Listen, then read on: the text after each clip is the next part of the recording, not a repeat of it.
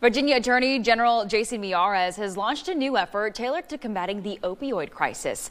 The new initiative aims to reduce opioid deaths, educate Virginians on the dangers of fentanyl-laced drugs, and provide community resources.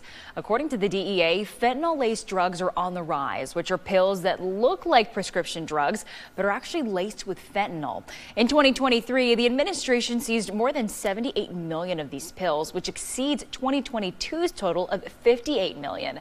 And officials say seven out of every 10 of the pills seized contained a lethal dose of fentanyl.